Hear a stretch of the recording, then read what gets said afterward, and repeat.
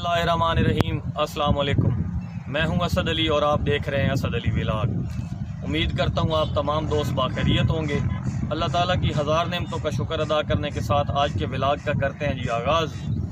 बड़ी मुश्किल से बारिश में सफ़र करके दरियाए जेलम पे पहुँचे हैं, ताकि आपको फ़्लड की सिचुएशन से आगाही दी जा सके। बारिशों मुसलसल कल से बारिश हो रही है।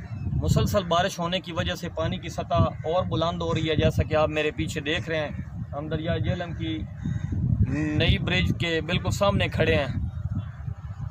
आपको जूम करके दिखाते हैं। और चारों तरफ़ का व्यू जो है, वो आपको क्लियर करके दिखाते हैं दरिया जेलम का।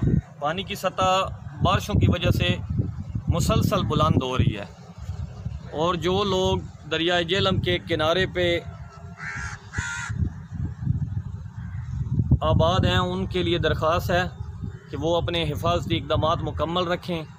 अगर बारिशें मुसलसल ऐसे ही होती रही तो सैलाब का ख़तरा और भी ज़्यादा है। ये कुछ खेमे आपके सामने हैं, ज़रा जूम करके आपको दिखाते हैं।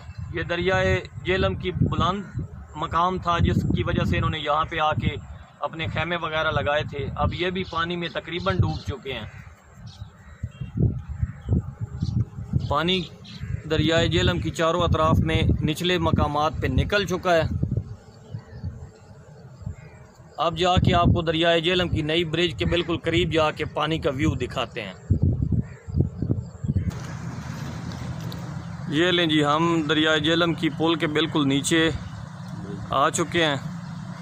यहाँ से आपको पानी की स्पीड का अंदाज़ा हो रहा होगा, मज़ीद जूम करके आपको दिखाता हूँ। पानी की स्पीड जो है मुसलसल ज़्यादा हो रही है, तेज़ हो रही है।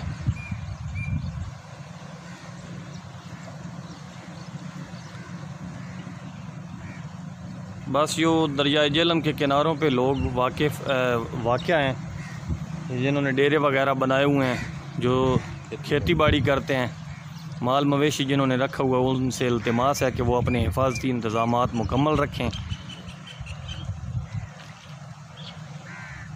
हम इस वक्त बड़ी ख़तरनाक जगह पे खड़े हो के ये वीडियो शूट कर रहे हैं, बिल्कुल पानी के अंदर। लोग भी आप देख रहे होंगे, काफ़ी तादाद में इसी सिचुएशन को देखने के लिए आए हुए हैं।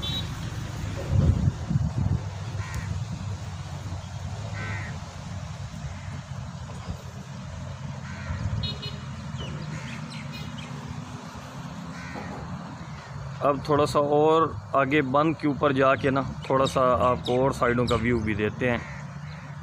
ये थी न्यू ब्रिज का व्यू। अब हम ओल्ड ब्रिज दिखाने के लिए आपको बंद पे आ चुके हैं। जूम करके आपको दिखाते हैं। पानी की सतह जो है वो मुसलसल बुलंद हो रही है। साथ के जो एरियाज़ थे जो डेरे वगैरह थे, उनकी फ़सलों में पानी जो है वो इंटर हो चुका है।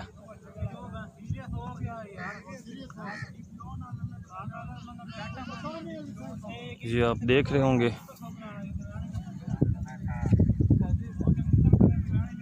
आज मेरे साथ मेरे मामू हैं जी। मामू फजल।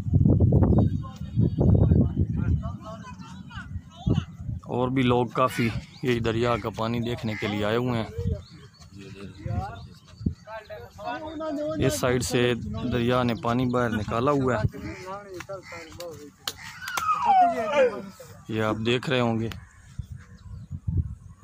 साथ साथ के जो डेरा जात हैं, उनसे यही अल्तमास है कि वो अपने मवेशी महफूज मकाम पे मुंतकिल कर दें ताकि नुकसान उनका जो है ना माली वो कम से कम हो।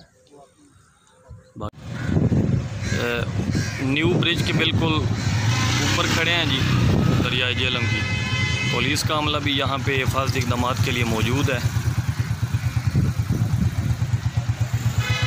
और महकमा लाइफ स्टाक वालों ने भी अपना कैंप जो है, ये बिल्कुल न्यू ब्रिज के ऊपर साथ ही लगाया हुआ है, ताकि किसी जानवर को अगर कोई मसला दरपेश होता है, पानी या सैलाब की वजह से तो उसकी ट्रीटमेंट बर वक्त की जा सके।